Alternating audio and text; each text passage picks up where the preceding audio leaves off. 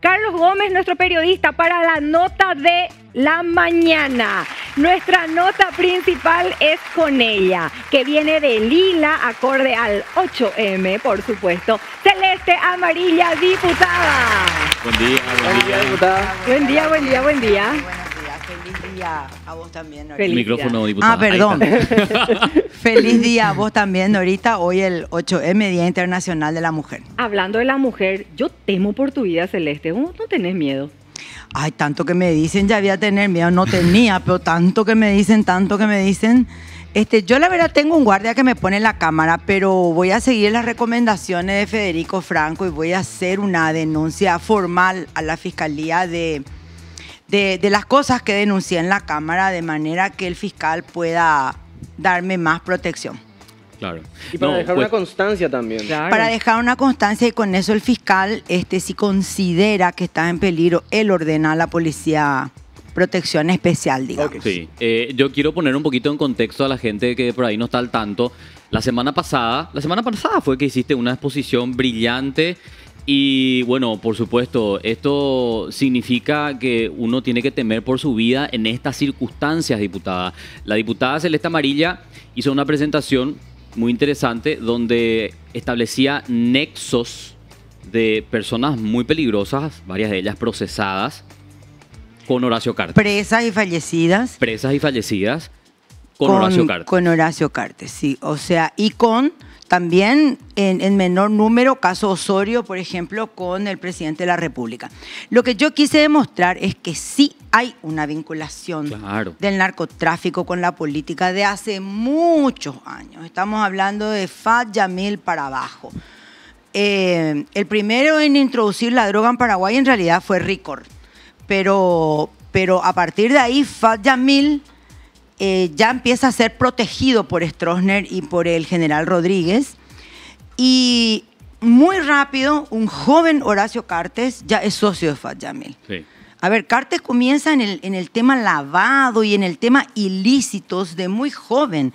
¿Se acuerdan que él estuvo preso por evasión de divisas en los años 80, antes de ser político, etcétera? A ver, Horacio Cartes no es este, una, una persona de, de un pasado intachable, eh, de, de- a ver, tiene antecedentes de haber ido preso, de haber estado prófugo años y luego haber ido preso a Tacumbú Y no, no, por no- evasión de divisas, que es lo que hoy sería lavado de dinero. y no hay que olvidar también, eh, diputada, compañeros, que establece su imperio asociado a Fat- personas. que- Primero a Fat Yamil. claro, primero a Fatia Mil, después a Darío Messer. Exacto. Junto con, a- con Fat Yamil lo conoce a Messer. Sí. La estancia Sofía, que es una estancia modelo multimillonaria, que es del presidente Stron- eh, perdón, del expresidente Cartes en el Chaco, era la estancia de Fat Yamil. Que Horacio se queda con esa estancia a cambio de deudas que Fat Yamil tenía con él. Imagínense ya el, el nivel de dinero que manejaba Cartes, que le prestaba plata a Fat Yamil, que en realidad creo que era lavado de dinero. Sí. Y lo mismo que le pasó a Yusio es lo que están queriendo hacer contigo. El que habla fuera y empezar a atacar Mm. con todos los medios propios. Claro, y el que denuncia termina denunciado. Ahí. Ahí está. ¿Entendés? El que denuncia termina denunciado. Ahora dice que a mí me van a demandar cuatro o cinco diputados y el empleado de la Senat que me dijeron que tiene mis audios. O sea, ya me va a demandar un funcionario público también, ya me va a demandar. Falta nomás que el chofer de América, si me quiere demandar, le dicen que se pliegue por favor al grupo. Sos muy demandable. Sí, sí. Parece, ¿verdad? Cuando que lo que deberían haber hecho las instituciones encargadas es investigar mis denuncias. Yo no acusé, yo denuncié. Claro. Claro. ¿Cómo puede ser que una diputada nacional denuncie en el plenario de la Cámara, ante toda la prensa del país, denuncia ciertos hechos y en vez de que alguien tome esas denuncias e investigue, me culpan a mí y empiezan a decir, no, pues si él es de una conducta intachable. Claro. No, no, no, él jamás tocó drogas. Le defienden antes de investigar. Pero, diputada, ya pasó esto. Es Ya más, eh, eh, te- Me te- te sancionaron. durante Sancionaron. un buen tiempo. 60 y días. No, no entiendo, por ejemplo, cómo esta es la segunda vez que La está presentando vez. una denuncia y de esta magnitud otra vez. Y la gente todavía está con los brazos cruzados. O sea, te dijeron, perdón, ¿verdad? Pero quiero repetir nomás lo que todo el mundo estaba diciendo. Te trataron de loca, te trataron de, de todo, te trataron, diputada. Y, Y no puede ser que esta, que es la tenía segunda razón. vez. Al final tenía razón. Y entonces, Bueno, y la primera vez mi denuncia fue innominada. Yo dije, acá hay. Y eso que yo ya tenía el nombre de Osorio. Pero en no el diste. 2019 yo ya tenía el nombre de Osorio. Pues no podía creer. Le, le observaba, seguía recibiendo información. Yo no di nombres la primera vez. Bueno, fui sancionada. Ahora resulta que tenía razón. Ya hay nombres en la prensa. Entonces me atreví a dar uno o dos más. Claro. Y ahí Otra vez. estalló el mundo. Y después otra vez te vamos a dar la razón de seguro. Y, y posiblemente. El tiempo termina dándote la razón. Posiblemente porque, a ver, yo no estoy haciendo denuncias irresponsables. A mí me llueven denuncias, pero hago más o menos un filtro y chequeo más o menos, como hacen también ustedes, ¿verdad? De, de- de quién proviene y si considero serio y si encuentro que 2 más 2 es 4, bueno, entonces largo la denuncia. Pero vuelvo a decir, largo la denuncia. Claro. Los diputados en, en ejercicio de nuestras funciones, la única inmunidad que tenemos es la de expresión, la de hablar, la de denunciar, Para eso están. Constitucional. Claro. Y haciendo uso de esa atribución, yo denuncio en la Cámara, no acuso. El único que puede acusar es el fiscal una vez que investigue. La fiscalía tiene que investigar todo lo que yo dije. Como No nadie me llamó, investigarte a vos. pero, no Pero- investigarme a mí. claro, pero hoy la fiscalía medio nula es. Que no existe. Y existe para selectivamente. Ahí. Claro. Eh, yo quiero insistir un poquito con esto porque me parece eh, de lo más preocupante cómo está evolucionando este conflicto, este conflicto político.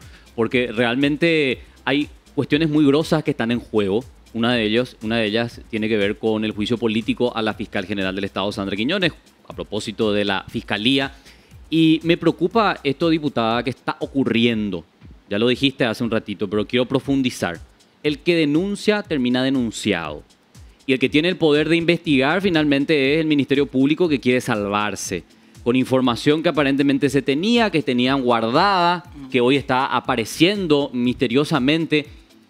Esto es una extorsión. Esto es una eh, extorsión directa a ustedes que están tratando de ordenar institucionalmente el país, porque una fiscalía sometida no, no, no, no puede tener un país que se precie de ser democrático, diputada. Por supuesto, ustedes se acordarán del gobierno de John Fitzgerald Kennedy. Sí. El fiscal general del Estado era su hermano, que luego termina asesinado, como varios de los Kennedys. Eh, Ustedes se acuerdan del poder del fiscal general del Estado. A ver, el presidente Kennedy no, le, no lo pone al hermano en Hacienda, como hacemos acá, para que toquete algo Claro. lo pone en el lugar más eh, importante del gobierno, que es la Fiscalía General del Estado, porque confiaba en su hermano. Acá a nuestro hermano le ponemos en Hacienda, Sí, ¿entendés? sí, sí. Claro. Y la Fiscalía siempre está relegada a la compra y venta de influencias. Esa es la verdad. Cuando que la Fiscalía General del Estado en una república es una de las instituciones más importantes, porque con esa fiscalía se acaba la impunidad. Si la fiscalía trabaja bien, no hay impunidad. Claro. No hay forma de negociar la No, no impunidad. No, claro, Claro. porque si la fiscalía trabaja bien y te acusa y se enfrenta a- a- en un juicio Claro. al, al delincuente, eh, no hay quien le gane. Claro. No, y esto, eh, esto es importante, esto es importante, chicos, diputada, porque, a ver, eh, parte de, la, las causales que ya hemos leído, porque el, el documento oficial nunca fue presentado, no digo, pero ya se socializó parte de, de las acusaciones contra Sandra Quiñones, muestran justamente esto que estamos diciendo, un sometimiento, un sometimiento de una institución que tiene que ser independiente a un poder político. Y está sumamente bien documentado. Es imposible Tres mil rebatir. páginas de prueba. Claro, es, impos- es imposible rebatir los argumentos que ustedes plantearon hasta ahora y se van agregando más. Ojo, se van agregando más causales. Aún así, la quieren salvar. ¿Y cuál es esa estrategia para salvarle? Desprestigiar a todos. que caigan absolutamente todos para que nadie tenga la autoridad moral de, de- de juzgar a Sandra Quiñones. ¿Cómo, ¿Cómo vos ves que es la situación? Sin embargo, sí hay gente con, con autoridad moral. Yo creo que sí también. Yo en también el, creo que en sí. el gobierno y en la Cámara de Diputados y en la Cámara de Senadores, en el propio gobierno. Pero sí no se les permite pues hablar. Hablan y son condenados. Y bueno, Hablan pero y se ya eso, el tenés, y a eso tenés que enfrentarte. Si tenés autoridad moral, adelante. Una pregunta, diputada. Cuando tienen que votar algo, algo que siempre nos queda a nosotros la duda, de repente están de un lado, ya sabemos que alguien va a vo- votar a favor o en contra en diputados, pero llega la hora de la verdad y pasan cosas tan raras y de repente el resultado es otro. Se compra, se vende. Eso es lo que a mí me parece. ¿Quién paga más? Espera, yo todavía no estoy Denunció segura. eso O sea, ella, justamente. A mí me parece esa es la, la situación en el mercado. Eh, señora, señora, yo te voy a dar más barato, yo te voy a dar más, yo te pago más, pago más. Se dice que, Sí. se dice que corre plata para ciertos votos. Es más, se dice que hay un sueldo aparte para los que están también. con ciertas personas. También, Que son de 50 millones. Tu sueldo como diputado más 50 bueno, ves, millones ves, de... Yo no dije 50 millones y vos tenés la misma información. Todos es que tenemos. es Todos Vox tenemos. Populi. Es Vox Claro. Populi que Horacio Cartes paga 50 millones a sus adeptos. Y si Norita sabe, y vos sabés, y yo sé, ¿será que no tiene que la fiscalía investigar? ¿O ahora le van a acusar a Norita? A Carlos. A Yo- yo- Carlos. yo soy Ah, bailarina, Nosotros podemos, aviso. podemos decir lo que queramos, A que yo te puedo asegurar, diputada, de que a ellos no les importa. A Pero si ver. ustedes, que en teoría tienen esa inmunidad de poder hablar y decir las cosas como son, a ustedes se les investiga, ¿entendés? Nosotros podemos decir al final lo que queremos. Porque nadie va a estar pendiente para de lo que el juicio nosotros. político estaban ofreciendo, al parecer, 60 hasta mil. 60 mil Sí. dólares, que es muchísimo. Imagínense 60 mil por, por apretar el botón verde. Y nosotros Sin por sueldo mínimo, o sea, yo me pongo nomás en el lugar Sí. de, de esa persona que se levanta a las 5 de la mañana, tiene que tomar el colectivo, ir colgado para ir a trabajar, le deja a sus hijos, su marido ya está ya con otra porque está ahí ella trabajando, vuelve a su casa y todavía apenas su sueldo mínimo no puede pagar su luz, su agua, su teléfono y sin embargo, por apretar un botón, Sí. Pero es mucho por apretar un botón. demasiado. Pero es nada, es nada por vender tu dignidad, tu conciencia. Porque por 60 mil dólares, permitir que siga la joda, que siga la impunidad, que siga una fiscalía cooptada por un señor mafioso, porque no está cooptada por el Vaticano. A ver, está cooptada por Horacio Cartes, que él mismo tiene procesos pendientes con la justicia. Para esos 60 mil dólares no es, No es nada, nada. no es nada. No Y es nada. Yo quiero sumar nomás un dato más, porque no es que solo Celeste Amarilla lo dice, o Norita, o yo. Entre los propios colorados se acusan. No te olvides, Sí. eh, diputada, que el senador Cachito Salomón había confesado que Calega Laverna recibía un sobresueldo de carte por servicio político. Sí. Eso es una acusación entre ellos, entre colorados. Acá no es di- eh, liberales versus Y colorados. luego se aplacaron las aguas y él nos animó a enfrentar y a seguir diciendo, a, a mantenerse en eso. Se calló. ¿Por qué? Lastimosamente. Recibió una llamada de arriba. Eso, Eh, eso quiero saber. ¿Por qué de repente la gente se calla? ¿Amenaza? Que ¿Miedo? amenazan, o- claro, le Acá, amenazan. Supongo que, le amenazan. Te doy tanto y te callás o puede desaparecer O mira alguien, que no voy a sé. contar tal cosa tuya también. Amenaza. Claro. Porque tampoco no sos un santito, tenés también algo atrás, seguramente. Vos sabés que hoy es la etapa de ABC justamente. Eh, Velázquez confirma aprietes para evitar el juicio político a Quiñones. Vos podés estar de acuerdo o no con Velázquez, por supuesto que tiene muchas cosas que explicar también. Aquí creo que nadie va a defender al vicepresidente. Pero ¿esto es verdad o es mentira? Ah, teníamos vicepresidente. El vicepresidente confirmó que varios diputados de su movimiento reciben amenazas de sus propios correligionarios colorados para evitar que avance el juicio político. Y varios están con procesos dilatados. ABC eh, habla del caso Urbieta, del caso Samaniego, del caso Ever Noguera, del caso Miguel Urbieta, Cuevas. Urbieta incluso tenía que votar con nosotros mesa directiva. Desapareció, eran las 10 de la mañana y le llamaban, le llamaban los de Añetete y él no aparecía. y apareció, esp- esperó, esperó, pensando que iba a terminar la sesión y como hubo tal quilombo no terminó y llegó y tuvo que votar. llegó antes de que termine, pero se abstuvo. Se abstuvo. Entonces, Clara señal de que estaba siendo retenido Apretado. por el otro sector, apretado por el otro sector. Pero se puede hacer eso, no es algo ilegal. Claro que es ilegal, pero ilegal. si ellos no denuncian ni se callan, Lo que denuncia pasa- Claro, nadie, va a saber. lo que pasa... Él tiene que decir estoy siendo extorsionado por este grupo. Sí.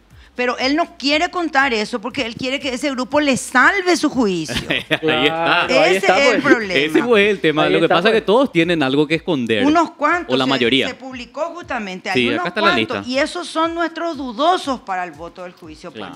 político. Y ahí está, es la extorsión perfecta, porque te dice, mira, cuidado, Mm. Celeste, que yo tengo algo en tu contra y si vos me jodés, yo te voy a joder con esto. Bueno, Así pero es a la ver, amenaza. yo digo, si ellos, todos ellos se declaran inocentes en sus causas. Eh.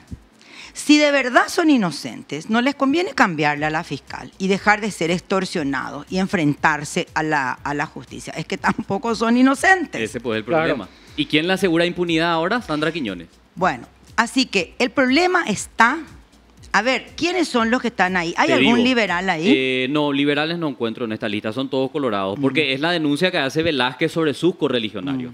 Y dice a Urbieta, a Samaniego, a Eber Noguera, a Miguel Cuevas y a Carlos Núñez Salinas, que Bueno, sabemos que tienen deudas Pero pendientes. es que en diputados Sí. no hay un solo liberal en esas condiciones. El único que había y al que todo el día le sacaban era a Teófilo Espínola. Ajá. Finalmente, él mismo apuró para llegar al proceso y salió sobreseído. ¿Y qué Por pasa? eso digo, cuando uno es inocente, uno quiere su juicio para que termine. Claro. Teófilo Espínola, Espínola salió sobreseído, fue injustamente acusado por la fiscal, creo que fue por Victoria Acuña. Ah. Eh, Mm. Exacto. Así que nosotros no tenemos ni un problema. Eh, eso quería preguntarte. Nosotros sí tenemos tres o cuatro indecisos, pero por, eh, por- por car- de puro cartistas. Eh, eso quería no porque tengan nada malo detrás, de Claro. puro cartistas. Eso quería preguntarte, porque ayer le leía, eh, Ka- Katia hizo una carta abierta, habrás leído en Twitter, Katia González, Sí. una carta abierta para la, la- la definición del juicio político, contando que hay indecisos. Eso Claro. es categórico, por eso no avanza el juicio político, no se cierran los números, 53, que es como lo que se necesita básicamente. Ahora, eh, dice Edgar Acosta, no somos niñeros, le responde a, a- a- a- a Katia. Y definitivamente el problema está en los liberales, diputada. Eh, además de estos colorados que estábamos leyendo, pero Además de estos, nosotros tenemos tres o cuatro, creería que tres, tres nomás, tres nomás tenemos, que se mantienen eh, con la postura de llano, porque vinieron ya con nosotros para la mesa directiva sí, Sergio Rojas, Rojas. eh, Rodríguez, Trinidad y Capurro. Y ellos quedaron con tres. Yo le respondí también a Katia, no, no alcé a Twitter porque era muy largo, pero voy a hacer fotos y voy a alzar. alza para poder leer. pasé a algunos grupos y, y bueno, yo le respondí también a Katia. Yo coincido con Katia. No son niñeros. Eh, no, no en, e- no en esa frase, no, no, en esa frase no. Yo lo que, lo que, lo que le respondí también en una especie de carta abierta Ajá. es que yo le suplico a los diputados que votemos los 29 igual, que de vuelta no seamos los culpables por uno, dos, tres Claro. de que siga la impunidad y permitamos que partidos chicos y nuevos como el PEN, como Patria Querida, que si son fraternos, son partidos fraternos a nosotros, pero no permitamos que partidos nuevos y chicos desprestigien una vez más al viejo y grande Partido Liberal que ha escrito páginas en la historia de lucha por los derechos de las personas, por la democracia, por la libertad, por las injusticias. La fundación del Partido Liberal obedece cuando se funda el Centro Democrático en Villarrica es por unas trampas en las elecciones que hacía el otro grupo. Todavía nadie se llamaba liberal ni colorado. Eran dos grupos que pugnaban, llaman a elecciones y un grupo le hace trampa al otro. Adivinen quién es el grupo que hizo trampa. Creo que nos imaginamos. El que luego fue el Partido Colorado. Y nosotros fundamos el Centro Democrático. El 18 de octubre es otra revuelta donde pierden la vida un montón de liberales por su lucha por la democracia. Muchos liberales han dado su vida y supongo que muchos seguirán dando por este país. El último, Rodrigo Quintana, el, El último de los liberales. por la. Entonces, qué dolor que luego partidos pequeños que tienen ocho votos nos acusen a 29 de haber entregado la fiscalía a Cartes. En- somos más de un millón de liberales que no queremos la plata de Cartes, que no queremos las prebendas de Marito. Somos más de un millón de liberales en el padrón que queremos mirar de frente, que queremos eh, competir en igualdad de condiciones. Queremos tener la frente alta, queremos tener la lengua larga, queremos decir lo que pensamos y no podemos porque siempre tenemos dos, tres que nos joden. Y demostrar que son diferentes también, diputada. Esa es una gran competir responsabilidad. para ganar y demostrar que somos diferentes. Me- Claro. Me, faltó esa frase. Es muy importante Claro, eso. pero porque- nunca podemos y siempre nos están igualando a todos porque nos dicen, ustedes son la misma porquería, ahí tenés fulanito y fulanito, entonces por tres, cuatro somos todos la misma porquería y no somos lo. Punto y aparte, ¿y cómo hacemos ahora? Tenemos que empezar a pensar por quién vamos a votar. Santi Peña, Hugo Velázquez. Yo trato de buscar dónde voy a poner mi voto, porque yo no quiero ser de Estados Unidos, no quiero ser un peón más, no quiero ser de, de- del otro también, porque también eh, tiene sus cosas. Entonces, no sé de qué lado ponerme. Mira, si puedo inducir tu voto, Sí, es que- Influenciar, que- queremos- influenciar. queremos- Estaría bueno. Sí, voy a inducir a la de la audiencia. Sí. No vaya así Martín Buro que. Esta vez hay que votar por la Ah. oposición. Ah, ok. Cualquiera de los candidatos de la oposición va a ser un buen presidente. Cualquiera de los que están en la palestra ¿Por qué? y cualquiera de los que aparezcan de acá a esa fecha. ¿Por qué? ¿Por Sí. qué? Porque no están dentro del Partido Colorado. El Partido Colorado es corrupto y corruptor. Yucio no era colorado y no era corrupto. Entró con los colorados. A los ocho días estaba fuera por corrupto. Son corruptores porque están ahí hace 45 años, acostumbrados a la coima, acostumbrados a la prebenda, viviendo del sueldo del Estado y de lo que pueden conseguir. Tienen que ir a, a cuarteles de invierno. Tienen que ir 15 años, 20 años a la llanura. Meditar Te merecen. pedir disculpas, arrepentirse y volver con gente nueva. Y ahí pueden seguir siendo opción. Hoy va a ser más de lo mismo. No vuelvan a votar al Partido Colorado y después estamos otra vez hablando de esto. Diputada. De la coima acá, de la coima allá, del narco acá, del narco allá, de que hay que echar a la fiscal, de que hay que echar al ESAP, de que hay que echar a no sé quién. No vuelvan a votar al Partido Colorado porque vamos a estar hablando de lo mismo dentro de tres años. Así mismo. ¿Cuáles son las opciones entonces de la oposición, diputada? Bueno, hay varias opciones porque saben que hay una concertación en, en ciernes. Eh, a ver, eh, mm, comenzando por mi partido, que hay tres. Sí. Efraín Alegre, Martín Burt y mm, Hugo Fleitas. Eh, Katia González, que se lanza ahora. Esperanza Martínez por el Frente Guazú. Esperanza. Hay muchas mujeres, ¿eh? Mucha. Entiendo que Soledad Machuca está como dupla de alguien o también por Soledad su- Núñez. Soledad Núñez. Soledad Núñez. Soledad es la vieja ya. ¿Cómo se llama esta chica, la de Núñez? Soledad Núñez, bueno, eh, hay, hay muchos, no sé quién es más, pero vuelvo a decir, cualquiera de ellos va a ser un buen presidente. Es gente preparada, comprometida con el cambio, comprometida con la honestidad. No hay ninguno que a mí me dé motivos para dudar de ellos. Eh, se va a hacer una concertación, se está buscando el mecanismo y de ahí va a salir una dupla. ¿Te olvidaste de Efraín?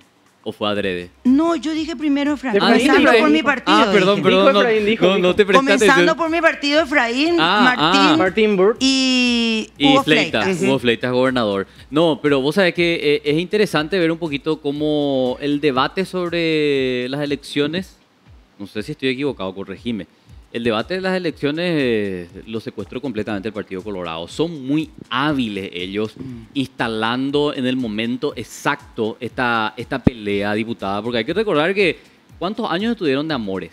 ¿eh? En Concordia, de hecho, en las últimas elecciones en las municipales, juntos como hermanos, nadie sabía nada na- él no sabía de lo que hacía el otro, nada, no había denuncia, Permiso. era todo amor. Pero también tienen todos los medios de comunicación a su favor. Solo Sí, de ellos pero se claro. habla, obviamente no se habla de ningún liberal y si se va a hablar, se va a hablar mal, porque los medios de comunicación están instalados ya los colorados ahí, Sí, para no decir manejan, son dueños. Manejan. Bueno, ahora, ahora la verdad que las acusaciones son muy fuertes, las posiciones son muy fuertes. La posición de Hugo Velázquez cuando dijo no me voy a abrazar con un mafioso. Con la mafia, sí. Yo le, yo le dije, a, me tocó hablar en algún momento con el vicepresidente Hugo Velázquez y yo le dije, no hay vuelta atrás, vice.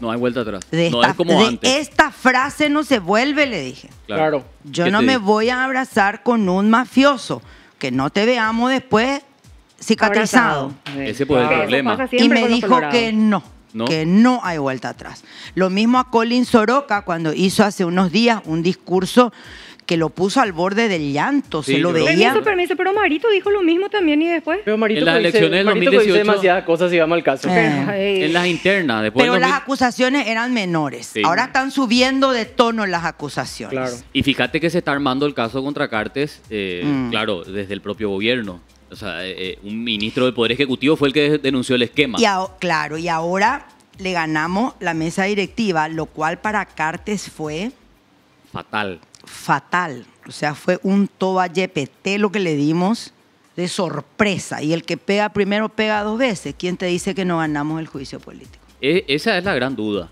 Esa es la gran duda, ¿Quién diputada. te dice? Porque hubo compromiso para la mesa directiva, eso lo entendimos y se, se ejecutó muy bien. Eh, ganaron, nosotros estuvimos acá vibrando también con, con la definición, pero esa gente no necesariamente se comprometió a acompañar el juicio político. No, por Ese eso. fue el problema. Por eso. Pero también, independientemente de lo que llegue a pasar con Sandra Quiñones, a mí me parece que el problema obviamente está mucho más arriba. Está el- en el que tiene la plata justamente para poder decirle a, a sus lacayos, che, los perros, acá hay un 60 mil, acá hay un 50 mil, Mm. haceme el favorcito. Y así se manejaron toda la vida. No es nada nuevo esto. Sí, pero si vos tumbas la fiscalía, si vos cambiás la fiscalía hoy, Ahí se puede investigar. el primero que va a ser investigado va a ser Horacio Cartes. Claro. Que hoy no va a ser investigado jamás. O por lo menos no con, Con Sandra, independencia. no. No. Mira, hay que decir una cosa, Sandra no es una persona deshonesta. Ella no ha, ella en su, en su larga trayectoria de fiscal no nos ha dado muchas muestras de deshonestidad. Lo que pasa es que está sometida a Cartes. No tiene independencia. Pero, Está con las manos atadas y con los ojos Pero, este, diputada, vendados por Cartes. a mí me parece no también es la diosa que- Astrea. No, obvio que no, pero a mí me parece también de que agarrar un expediente de así un toco de hojas, dar dos, tres ojeadas y decir, no, me parece que no es el momento. Y encajonar Guardar. durante años. Eso Guardar. me parece Es deshonestidad que- también. Bueno, no, sí. Sí. Pero a lo que voy es, la deshonestidad en la que ella se mueve hoy es por mandato de Cartes. Aquella antes En no su era así. vida anterior no hemos visto a una Sandra Quiñones tan enseguecida y tan dependiente de un líder político. Por la plata baila el mono, dicen diputada. Y posiblemente. O las amenazas, uno no sabe pues qué le está Pero es que pasando. ella no tiene, a ver, ella no tiene un... Yo me pongo a pensar eso y digo, ella no tiene un historial malo en su, en su, En su carrera política. en su ¿Por qué se va a carrera. ensuciar entonces? Y si no sé? Norita, no sé. ¿Qué, tanto tiene Cartes? Diputada, no podemos tenerte este día tan imper- importante, el 8M, y no preguntarte, Día Internacional de las Mujeres, de la Mujer, la mujer paraguaya. Bueno, eh, a ver, el Día de la Mujer Paraguaya fue eh, antes, este es el Día Internacional, pero obviamente también estamos las paraguayas adentro. Hay que recordar que el 8M se refiere al 8 de marzo de 1908, cuando las mujeres de una, de una fábrica textil que eran, trabajaban prácticamente en un sistema de esclavitud, de abusos, de todo tipo de abusos. Y nos seguimos nosotros en eso, Este- al menos en Paraguay. Claro que seguimos. Eh, y seguimos en el mismo rubro encima. Esta era una fábrica de textiles y confecciones. Las empleadas hoy de los orientales que tienen talleres de confección están en las mismas condiciones que aquellas mujeres de 1908 en Nueva York. Y la- el Ministerio de Trabajo no hace nada. Nada. Todos saben que en el mercado hay tingladitos de este tamaño donde adentro hay 100 mujeres cosiendo jeans, 100 mujeres cosiendo blusitas para los orientales, trabajando en condiciones absolutamente infrahumanas, donde se les prohíbe incluso hablar en guaraní porque el, oriental no entiende. Eh, eso persiste, persiste eh, la diferencia de sueldo entre la mujer y el hombre, que es la primera desigualdad que las Naciones Unidas señalan. La primera desigualdad es que si sos mujer ganas menos que el hombre, incluso haciendo más, incluso siendo más capaz. Y en Paraguay tenemos encima el aditivo de la violencia. Eso. Cada día se muere una mujer. Cada día cuatro o cinco mujeres son golpeadas. Cada día una niña es violada por su padrastro, por su papá, por su tío borracho, por su hermano mayor. Y la familia se calla día. por miedo. Y la familia se calla. Así que nosotros tenemos, aparte del abuso laboral, de todas las discriminaciones normales, aquellos que te dicen, a la pucha, usted ni un piropo no se le puede decir más. No, no es un piropo, es que el hombre no va a entender. Vos estás parada esperando el micro, vos no estás haciendo absolutamente nada. Para un idiota espantoso que no te gusta y te dice piropos, entre toca- comillas. te tocan la bocina. Te dice obscenidad. O te tocan la bocina como si vos un perro. O te toca la cola. O te toca la cola porque tu cola es linda o grande. A ver, eso es un abuso, señores. Yo quiero que me toque el que yo quiero y yo quiero que me diga piropos el que yo quiero. Por lo menos que me diga piropos un tipo lindo, no un gordo espantoso de 70 años. A ver, a eso estamos sometidas las mujeres desde que tenemos eh, 12 años. Yo odiaba que mi mamá me mande al almacén porque por el camino sin falta había un albañil que te gritaba. Sí. Y tenía 12 años, 13 años, y me iba descalza al almacén y me gritaba un albañil. Eso es horrible, Norita, ¿o no? Tenemos Y que no hacer porque algo. sea albañil. O sea, igual me puede gritar el gerente de un banco. Claro. Pero a ver, eso es un abuso porque a nosotros eso no nos gusta. Aprendan, no nos gusta que nos toquen la bocina, que nos toquen el culo, que nos silben, que nos griten. No nos gusta. Ese tipo de abuso seguimos teniendo las mujeres en Paraguay. Cierto. Y ya ni hablar de violencia doméstica. Lastimosamente. Y la violencia doméstica no es solamente golpes y muerte. Es no te pongas ese vestido porque te queda muy bien. No te voy a dar la plata para el súper, para No. vos y nuestros hijos, Sí. porque vos querés salir. y no toques el celular y no te peines así y no te maquilles. Todo lo que le gustó primero después tiene que cambiar. Después te restringe. Exacto. A ver, cuando que el marido no debería sentirse orgulloso de tener una esposa linda con él, Claro. Debería. debería. Claro. Claro que sí. Pero su inseguridad de macho hace que quiera que su esposa sea fea para que nadie le mire. A ver, el problema es de él, no y de después ella. le mira a la linda que sí se maquilla, que sí se pone y le pone los cuernos a la esposa con la linda, pero la esposa tiene que estar hecha mierda. A ver, el problema tienen ustedes, señores, psicólogo para ustedes. Ese es el problema. Así mismo. Celeste Amarilla, diputada, hoy día, martes 8 de marzo, aquí en BDA, un día especial para tenerla a ella, una de las mujeres que tiene ovarios en este país. Celeste Amarilla, gracias.